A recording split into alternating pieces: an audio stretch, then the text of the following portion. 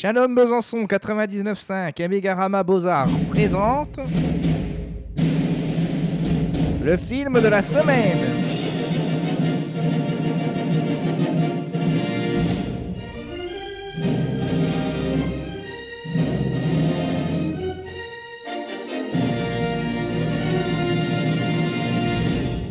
Bonjour à tous, pour ce nouveau film de la semaine, on va sortir un peu des sentiers battus en en sillonnant d'autres à travers l'Europe.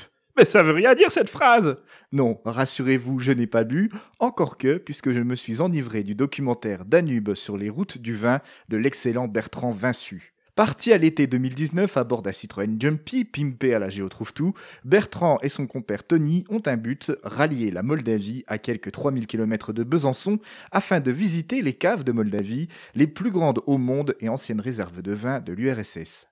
Je suis très heureux de vous présenter ce documentaire, particulièrement pour deux raisons.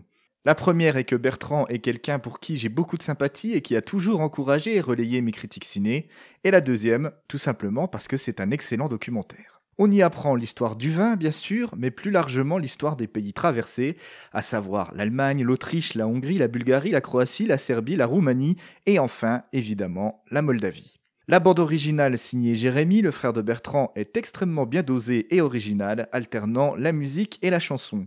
Tout au long de leur voyage, Bertrand et Tony vont croiser la route de plusieurs personnages comme Siegfried, Zoltan ou Mila, qui ont tous en commun la passion du vin. La réalisation est également remarquable et non dénuée d'humour, avec de magnifiques prises de vue aériennes. Ce film, avant d'être un film pour œnologue averti, est une ode à la vie et ses plaisirs simples, la découverte de l'autre, la convivialité, la gastronomie et l'amitié. Alors foncez vendredi 13 au Mégarama pour la projection de ce documentaire du meilleur cru, et comme le dit Quentin Tarantino,